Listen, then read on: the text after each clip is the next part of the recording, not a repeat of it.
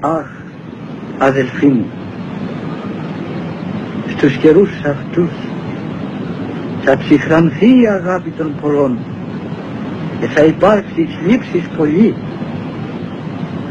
επιθέσεις εθνών, μεταναστεύσεις λαών, ακαταστασία μεγάλη, σπατάλη, αμέλεια, αδιαφορία δια την σωτηρία της ψυχής. Όλοι περίπου οι άνθρωποι θα είναι πρόθυμοι να τρέχουν στα τραπέζα, στους χορούς, στα γλέντια, θα τρέχουν να απολαμβάνουν τα γήινα αγαθά. Οι άνθρωποι θα είναι φιλόνικοι, θα είναι πολύ οκνηροί, θα είναι στα χριστιανικά τους καθήκοντα οκνηροί εις υπερθετικών βαθμών. Θα είναι πρόθυμοι να κατακρίνουν τους άλλους ανθρώπους. Απιστία, μίσος, έχθρα, φόνο, φιλονικία θα κατέχουν την πρώτη θέση στη ζωή των ανθρώπων. Ας σταθούμε με φόβον Θεού και ας θα προσεκτικοί στην εκπλήρωση των θρησκευτικών μας καθηκόντων τηρούντες όλα στα σαρετάς. Ας φροντίσουμε να γεννήσουμε τα αγγεία μας με έλεον εφόσον η ψυχή μας ευρίσκεται στο σώμα. Πρέπει να φέγγει η λαμπάδα μας. Πρέπει να είναι αναμένη σε όλη μας τη ζωή. Να είναι αναμένη προτού κλείσουν τα μάτια μας. Συνεχώς να είναι αναμένη η λαμπάδα μας. Τα αγγεία είναι εδυνάμεις της ψυχής που δέχονται τα σαρετά. Το δε έλεον που πρέπει να ρίξουμε στα αγγεία είναι η πρακτική εφαρμογή όλων των αρετών. Η λαμπάδα που φαίνεται συμβολίζει τον νου, ο οποίος μπορεί να δεχθεί την Θείαν Χάρη. Η ψυχή που θα γίνει φωτοφόρος θα εισέλθει μαζί με τον Ιησούν Χριστόν εις την Βασιλεία των Ουρανών. Το επαναλαμβάνω αυτό. Η ψυχή που θα έχει αναμένη τη λαμπάδα όπως σε πέντε παθαίνει θα εισέλθει μετά του Ιησού Χριστού εις την Βασιλεία των Ουρανών.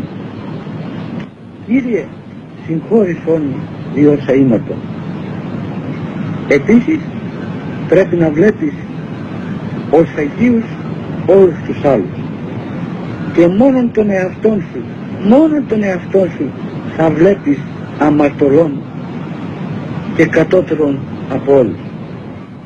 Άσχετα αν οι άλλοι άνθρωποι μπορεί να είναι αμαρτωλοί. Δεν έχουμε δικαίωμα να τους βλέπουμε εμείς ως αμαρτωλούς.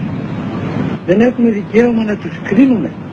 Δεν έχουμε δικαίωμα να πούμε εις βάρος εναντίον ενός αμαρτωλού.